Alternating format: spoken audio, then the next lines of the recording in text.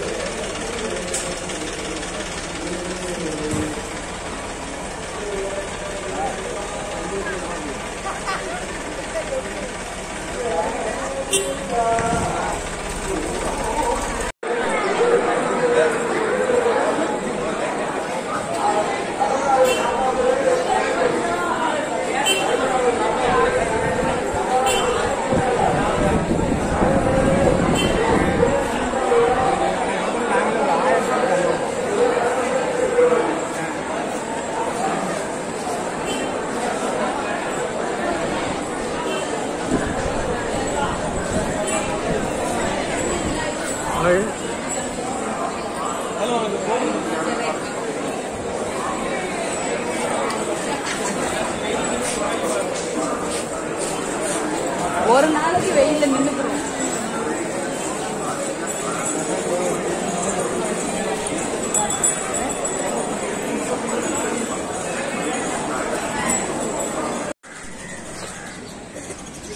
நாம இப்ப திருச்செந்தூர்ல இருக்கோம்.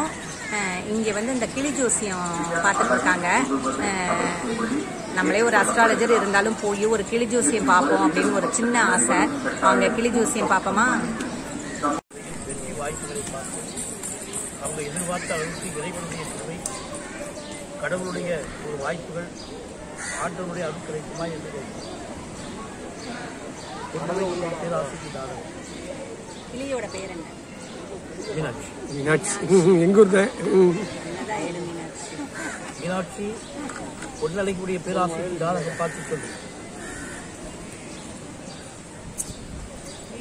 வெற்றி வாய்ப்புகளுடன் ஆண்டவனை வணங்கி கடவுளுடைய திருவையில் எதிர்பார்த்த காரியங்கள் நல்லபடியாக நடக்குமா? நினைத்த காரியங்கள் முடியுமா? கண்டிப்பா முடியும். வெற்றி வாய்ப்பு இருக்கு. எதிர்பார்த்த அளவுக்கு இறைவன் துணை இருக்கு. வேல் பிடித்து விளையாடக்கூடிய வெற்றி திருமகனுடைய அருள் கிடைக்கும். ஐயாவுடைய அருள். இருக்கு இப்போ உங்க மனதில் எந்த காரியத்தை எதிர்பார்த்தாலும் அந்த ஐயா விநாயகருடைய கிருவையில உங்க காரியம் எதுவாக இருந்தாலும் வெற்றிகரமாக நடக்கும். மக்களை கொண்டு மகிழ்ச்சி பிள்ளைகளால் பெருமை.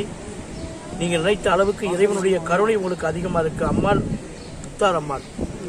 முத்தார் அம்மாள். இங்க குலசிரப்பட்டு இப்போ நீங்க மக்களை கொண்டு நினைச்சாலும் சரி இருக்கும் பூமி இடம் வீடை பத்தி நினைச்சாலும் சரி ஒரு நல்ல செய்திகளை எதிர்பார்த்தாலும் சரி அது உங்கள் காரியங்கள் ஆண்டவன் புண்ணியத்தில் கண்டிப்பாக வெற்றிகரமாக நடக்கும். அதுக்கு ஐயாவுடைய முருகனுடைய கருணையும் தெய்வீக சகாயமும் உங்கள் குலதெய்வம் கணவர் வழியில் உள்ள குலதெய்வமும் உங்களுக்கு அருள். இப்போ நீங்கள் எதிர்பார்க்கக்கூடிய ஒரு உயிரை நினைச்சாலும் சரி ஒரு பொருளாக நினைச்சாலும் சரி இல்லை இருக்கும் பூமியை நினைச்சாலும் சரி அதில் கண்டிப்பாக உங்களுக்கு வெற்றி இருக்கும் நீங்கள் நம்பியிருக்கக்கூடிய தெய்வம் கண்டிப்பாக உங்களை கைவிடாது.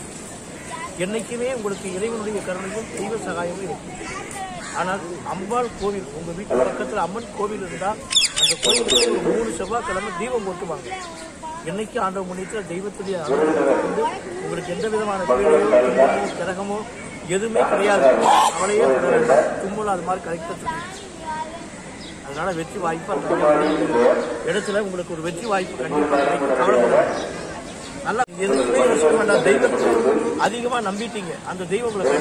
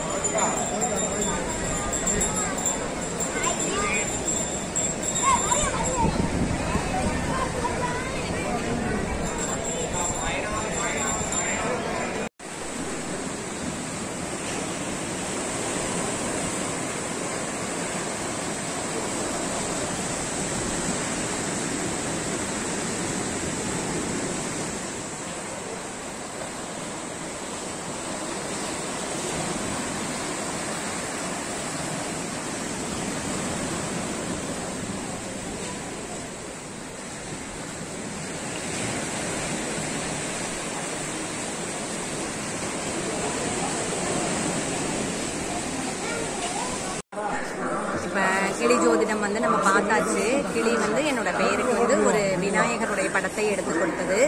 அந்த விநாயகரை வந்து நான் வந்து ஜோதிடம் படித்ததுனால நான் வந்து கேது அப்படின்னு தான் நம்புகிறேன் ஏன்னா வந்து கேதுவுடைய ஞானம் இருந்தால் தான் வந்து ஜோதிடத்துக்குள்ளேயே வர முடியும். ஜோதிடத்துக்கும் கேதுவுக்கும் ரொம்ப நெருக்கமான தொடர்பு இருக்குது அதனால் அந்த விநாயக பெருமான் எனக்கு அந்த மீனாட்சிங்கிற கிளி அந்த கிளியுடைய பெயர் மீனாட்சி. மீனாட்சி கிளி வந்து எனக்கு விநாயகர் விநாயக பெருமானை எடுத்து கொடுத்ததுனால அந்த கேது பகவான் தான் அப்படின்னு நான் நம்புறேன். அதற்கு பிறகு ஒரு சுவாமியும் அம்பாளும் ஒரு திருவுருவ படம் வந்தது. அது பக்கத்தில் உள்ள ஒரு கோவிலுடைய சுவாமியும் அம்பாளும் அந்த கோவிலையும் தரிசிக்க சொல்லி கடவுள் வந்து எங்களை நினைவூட்டுறாரு அப்படின்னு நாங்கள் எடுத்துக்கிறோம். இது நம்ம ஜோதிடம் என்பது நம்மளுடைய நம்பிக்கை தான் அந்த கிளை ஜோதிடர் வந்து என்னை மூணு வாரம் வந்து விளக்கு போட சொன்னார். நாம் அவசரமான காலத்தில் நமக்கு இறைவனை நினைக்க கூட நமக்கு நேரம் இல்லாமல் வாழ்ந்துட்டு இருக்கோம். அப்போ இந்த மாதிரி நபர்கள் மூலமாக தான் நமக்கு வந்து இறைவன் வந்து அறிவுறுத்தி நமக்கு அந்த இதை வந்து நம்ம என்னை கொஞ்ச நேரமாவது நினை அப்படின்னு சொல்கிற மாதிரி இருக்குது நிச்சயமாக செய்வோம் அப்படின்னு சொல்லிட்டு வந்திருக்கோம்.